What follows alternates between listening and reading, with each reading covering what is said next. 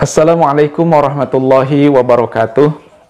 Alhamdulillah wassalatu wassalamu ala Rasulillah wa ala alihi wa ashabihi wa man tabi'ahu wa wala. Amma ba'du. Teman-teman sekalian, khususnya teman-teman yang biasa mengemban tugas sebagai khotib Jumat gitu ya. Pada kesempatan ini saya ingin sharing gitu ya saya ingin sharing dengan teman-teman sekalian. Saya di sini mungkin sebagai orang penikmat khutbah Jumat dan kadang-kadang sekali-kali juga mengisi uh, sebagai khatib. Maksud saya sharing di sini adalah bagaimana saya memberikan uh, pendapat saya dan juga mungkin nanti ada ada masukan-masukan dari teman-teman sekalian bagaimana sih seharusnya kita uh, bertindak sebagai khotib Jumat yang uh, yang bisa memukau begitu, yang bisa menarik sehingga orang-orang mendengar khutbah Jumat itu bukan malah tidur tapi betul-betul memperhatikan.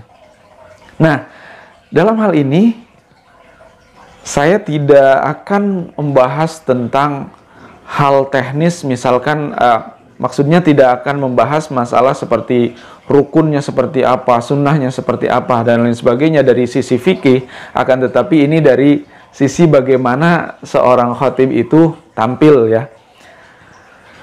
Nah, pertama dari sisi bahwa seorang khatib itu yang menarik itu seperti apa sih? Karena kalau kita kategorikan, kalau kita kategorikan ya, khotib Jumat itu ada yang membawa teks, ada yang tidak membawa teks. Nah, pertanyaannya, kenapa seorang khotib Jumat bawa teks dan kenapa juga tidak bawa teks gitu? Kalau untuk yang bawa teks khutbah Jumat bisa jadi ya, banyak kemungkinan. Yang pertama boleh jadi uh, khotib tersebut dia tidak ingin khutbahnya ngelantur ke mana-mana. Dia tidak ingin nanti ada salah ucap atau ada salah apa yang disampaikan sehingga nanti menimbulkan masalah. Itu bisa jadi.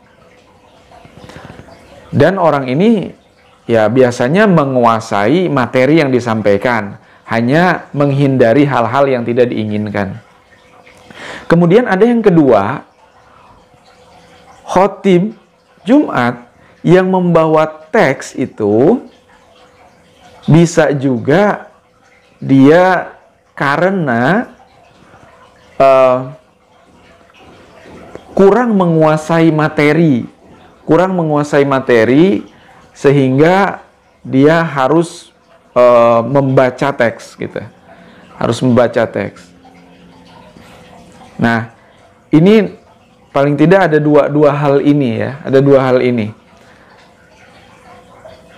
Selain itu juga mungkin bisa dimasukkan juga poin yang ketiganya orang membawa teks itu ada yang yang biasanya teksnya itu juga hanya berupa poin-poin uh, penting begitu, poin-poin penting, kemudian eh, ayat-ayat uh, yang harus dibacanya apa gitu, tidak detil uh, titik per titik, koma per koma dan seterusnya, tapi dia betul-betul uh, merinci poin-poinnya agar tadi tidak ngelantur ke mana-mana begitu.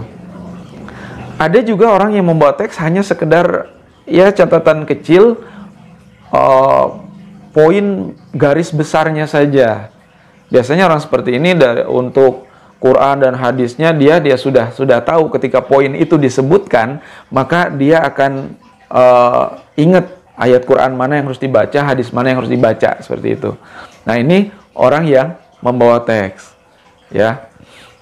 Nah, kemudian ada juga yang tidak membawa teks. Ya. Ada yang tidak membawa teks. Yang tidak membawa teks itu Pertama, kemungkinannya adalah dia sudah betul-betul menguasai materinya. Atau memang materi ini sudah sudah berulang-ulang dia sampaikan sehingga dia merasa ya semua udah ngelotok lah, udah di luar kepala, sudah tinggal menyampaikan lagi karena mungkin di beberapa masjid dia sudah sampaikan itu atau di beberapa waktu sebelumnya sudah dia sampaikan. Jadi dengan mudah dia menyampaikan itu. Yang kedua, bisa jadi orang yang tidak membawa teks itu dia punya cukup banyak waktu. Mungkin jadwalnya juga tidak terlalu padat sehingga dia buat teks atau cari teks di rumah, kemudian dia hafalkan gitu ya. Dia hafalkan sampai dia mungkin 70%, 80% dia sudah hafal, tinggal nanti kalau ada improv ya sedikit-sedikit saja. Ya, itu karena dia menghafal. Nah, teman-teman sekalian, nah dari dua ini mana yang paling bagus gitu ya? Mungkin ada orang, ah yang paling bagus mana nih? Yang pakai teks atau yang tidak pakai teks? Ya dua-duanya punya keunggulan sebenarnya, gitu ya. Menurut saya dua-duanya punya keunggulan. Tinggal uh, bagaimana kalau kita bawa teks ataupun kita tidak tidak bawa teks itu bagaimana caranya agar sama-sama menarik perhatian dari dari jamaah gitu, dari audiens yang ada. Bagi yang bawa teks ya, upayakan paling tidak teks itu sudah dibaca ya, dibaca paling tidak tiga kali empat kali sehingga uh, apa yang ada di teks khutbah itu betul-betul uh, paling tidak ya 60% udah sudah kita kuasai, sudah hafal lah ya. Gitu.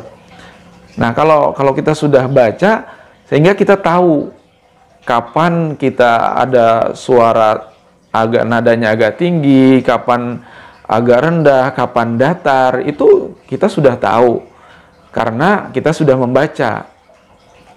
Cilakanya memang bagi yang uh, mempersiapkan teksnya terburu-buru atau mungkin karena dia nggak punya waktu atau nggak bisa manage waktu sehingga yang penting dia asal asal print begitu. Setelah itu nggak dibaca lagi. Ketika tampil biasanya orang seperti ini nanti akan gagap gelagapan gitu.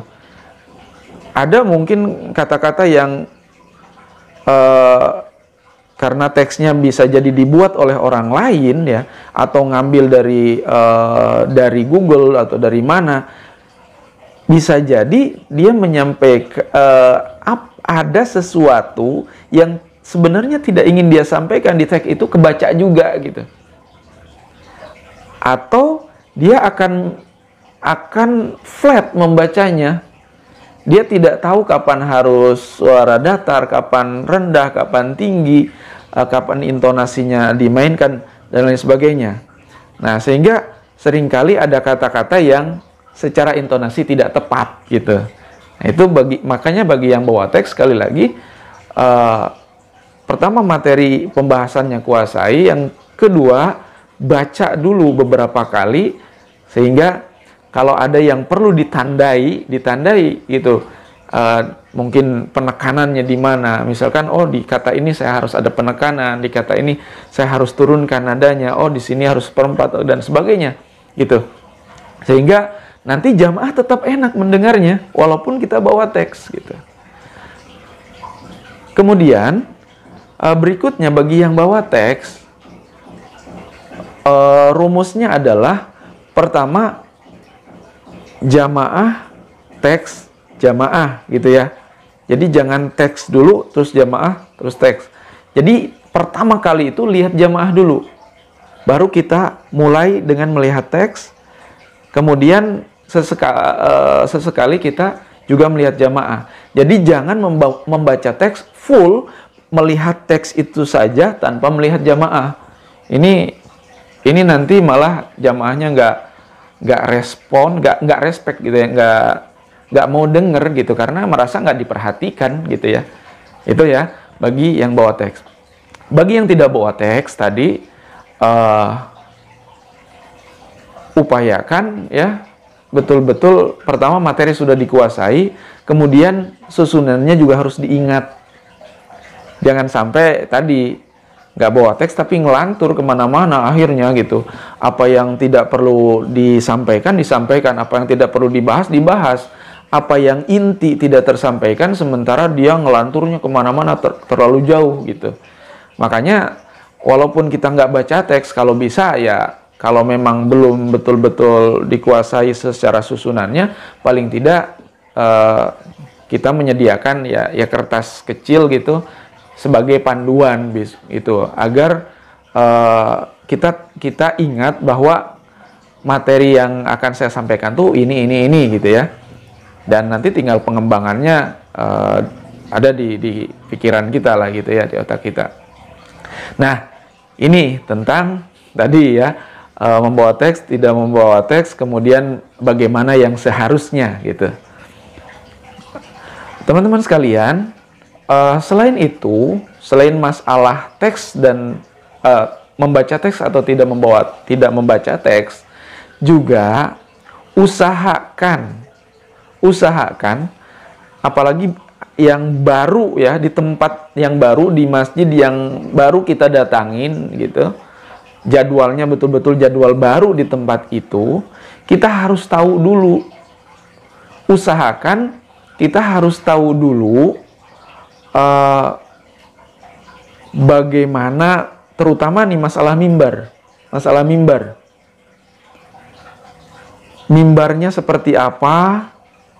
Uh, apakah kita nyaman membawa teks kemudian naruh teks bagi yang membawa teks gitu ya uh, apakah kita bisa nyaman meletakkan teks di mimbar itu untuk kita baca atau mimbarnya memang betul-betul di situ kita kalaupun membawa teks harus betul-betul diangkat dan dan dilihat gitu dan dilihat jamaah nantinya gitu.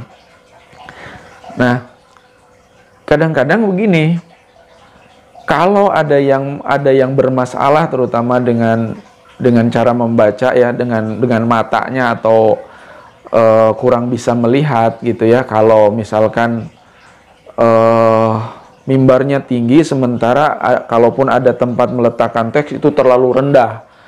Itu nanti ada kemungkinan tidak terbaca. Kemudian ada juga yang sudah mempersiapkan teks tapi dia tidak berpikir bahwa di situ ternyata tidak ada tempat untuk meletakkan teks. Akhirnya dia repot akhirnya dia bingung. Akhirnya dia bingung uh, bagaimana gitu ya.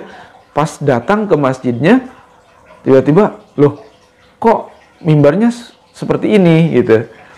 Karena kan ada bentuk-bentuk mimbar itu berbeda-beda ya. Kalau dulu standar lah mimbar kemudian di situ ada tempat untuk teksnya di sini ada micnya. Uh, kalau sekarang sudah mulai yang ada tangganya mimbarnya kemudian di situ hanya ada tempat mix uh, ada tempat mic bukan mix ya. Ada tempat mic, kemudian tidak ada tempat untuk meletakkan teks. Nah, ini bagi yang tidak terbiasa dengan membaca teks diangkat seperti ini, itu akan akan merasa kurang nyaman gitu ya, merasa kurang nyaman. Kecuali yang yang cuek aja, yang penting ah udahlah baca aja begini gitu ya. Biarkan nggak apa-apa jamaah melihat juga nggak apa-apa. Nah, itu ini masalah masalah pilihan, masalah kenyamanan masing-masing saja gitu ya. Intinya bagaimana uh, pertama apa yang kita sampaikan intinya juga bisa uh, bisa terdelivery dengan baik gitu. Kemudian yang kedua kita bisa menyampaikannya menarik gitu tanpa uh, eh, jangan sampai flat karena membaca teks karena kita uh, kurang menguasai materi sehingga bisa ngelantur atau membaca teksnya datar gitu. Nah, hal ini yang kemudian menimbulkan uh, fenomena seperti saat ini. Kalau khutbah Jumat ketika khotibnya naik, maka paling tidak uh, sebagian besar jamaah kemudian menundukkan kepalanya, tidur gitu. Nah, maka oleh oleh karena itu uh, di samping kita harus tahu secara fikihnya apa rukun-rukun khutbahnya agar khutbah kita uh, sah, tapi kita jangan berpikir hanya sah saja, akan tetapi karena ini khutbah seperti uh, ceramah gitu ya, maka kita juga harus berpikir apakah ini uh, menarik atau tidak, apakah ini yang disampaikan ini bermanfaat atau tidak. Maka dari cara menyampaikannya pun harus kita kita perhatikan. Barangkali untuk sementara sharingnya uh, itu saja dulu. Mungkin ada di antara teman-teman yang uh, lebih tahu gitu ya atau lebih punya pengalaman lagi, silahkan bisa sharing nanti bisa di komentar sehingga uh, ke depannya kita bisa sharing lebih lebih jauh lagi barangkali ada hal yang uh, belum terfikirkan.